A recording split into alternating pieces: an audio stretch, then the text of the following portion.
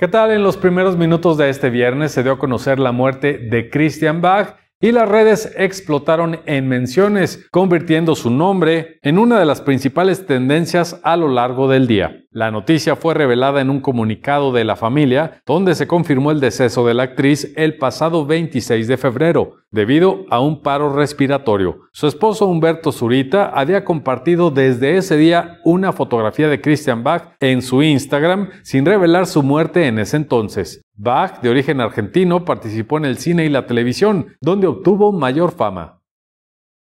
El grupo de pop surcoreano Super Junior realizó un cover del tema Ahora te puedes marchar, éxito del cantante mexicano Luis Miguel, aprovechando el éxito de la serie de Netflix. Y hoy estrenaron el video que recrea toma por toma el clip original de 1987. La popularidad del K-pop en nuestro país y el tema elegido por la boy band convirtieron este video en uno de los más vistos del día. En el videoclip vemos a cada uno de sus integrantes haciendo una parodia de Luis Miguel, incluyendo una falsa melena y vistiendo a la moda de los ochentas.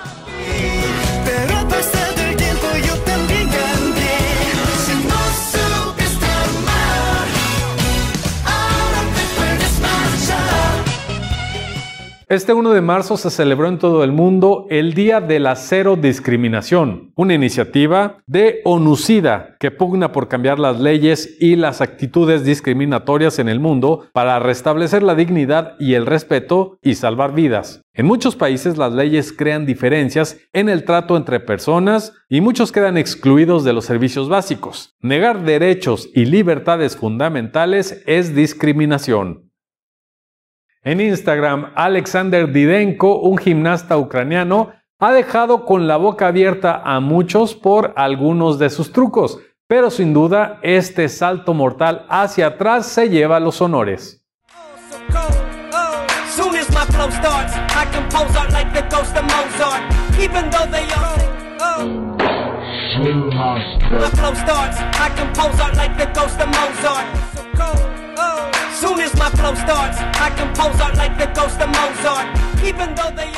Esta semana un hombre se ofreció como voluntario para que le implantaran un chip debajo de la piel durante una presentación en el Congreso Mundial de Móviles celebrado en Barcelona. Edgar Pons asegura que aceptó el reto porque tiene una casa inteligente y el implante le permitiría abrir la puerta. El chip tiene el tamaño de uno o dos granos de arena y está cubierto de material biocompatible para que el cuerpo no lo desintegre con el tiempo. Otros posibles usos para el chip será pagar en tiendas. ¿Qué le parece? ¿Será que estamos frente al futuro de los pagos?